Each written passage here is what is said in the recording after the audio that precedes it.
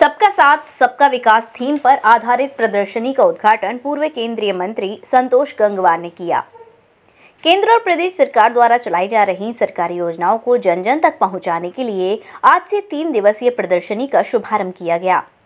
बरेली के विकास भवन में सबका साथ, सबका विकास थीम पर आधारित प्रदर्शनी का उद्घाटन पूर्व केंद्रीय मंत्री संतोष गंगवार ने फीता काट कर किया। इस अवसर पर संतोष गंगवार ने प्रदर्शनी का अवलोकन किया। और सरकार की योजनाओं से जुड़े लाभार्थियों को चेक वितरित किए।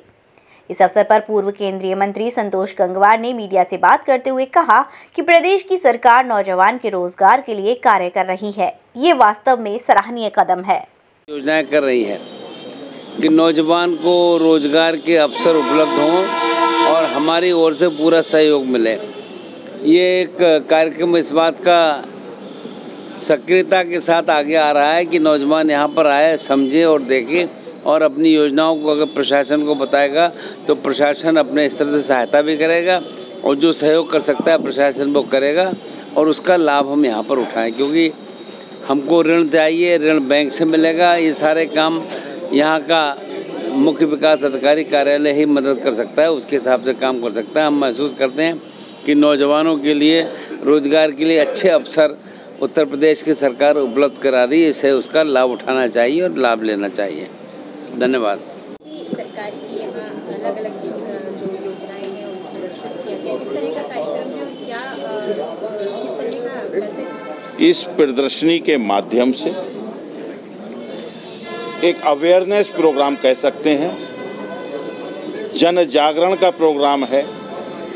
जन जन तक उत्तर प्रदेश सरकार द्वारा गरीबों के कल्याण के लिए, जन कल्याण के लिए गाँव, गरीब, किसान, मजदूर, महिला, युवा, उद्यमी, व्यापारी, रेहड़ी वाले, कौशल, विश्वकर्मा, श्रम, मजदूर, हर क्षेत्र में जिस तरीके से उत्तर प्रदेश ओडीओपी उत्तर प्रदेश की सरकार, मोदी योगी जी की सरकार डबल इंजन की सरकार और दो संतों की सरकार जो एक धर्म से और एक कर्म और धर्म दोनों से संत हैं, ऐसे संतों की सरकार उत्तर प्रदेश को उत्तम प्रदेश से सर्वोत्तम प्रदेश बनाने की दिशा में जो काम कर रही है, निश्चित रूप से ये सराहनीय काम है। और इस प्रदर्शनी के माध्यम से बरेली के हर नागरिक को यहाँ पर आके इस प्रदर्शनी का अवलोकन करना चाहिए।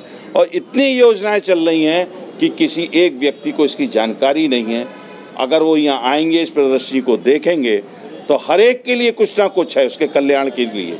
तो उसका सीधा लाभ मिलेगा और यहाँ के अधिकारियों के साथ मिलके अपने लिए नई योजना अपने कल्याण के लिए अपने लिए बना सकते हैं। इसके लिए सरकार को धन्यवाद। जय हिंद जय भारत। प्रणाम।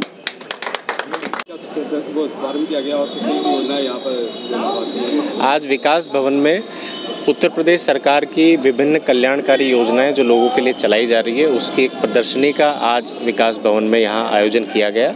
ये प्रदर्शनी अगले तीन दिन तक लगाई जाएगी और ये प्रदर्शनी लगाने का जितना औचित्य है, वो इतना है कि जितने हमारे लोग हैं, जितने हमारे लोगों को विभिन्न योजनाओं का लाभ मिल रहा है, उसी को प्रदर्शित किया गया है कि बाकी लोग भी आएँ, प्रदर्शनी का अवलोकन करें। जितनी योजनाएँ चल रही हैं, उनके बारे में उनको जानकारी हो। वो स्वयं भी किसी योजना के अंतर्गत अगर पात्र हैं तो अप्लाई करें। और किसी भी स्तर से अगर समस्या आती है तो चूँकि विकास भवन से सारी सरकारी जन कल्याणकारी योजनाएँ संचालित भी होती है तो किसी भी स्तर से अगर कोई समस्या आती है तो हम लोगों को अवगत करा सकते हैं, ताकि सभी लोगों तक और अधिक लोगों तक इन योजनाओं का लाभ पहुँचाया जाए।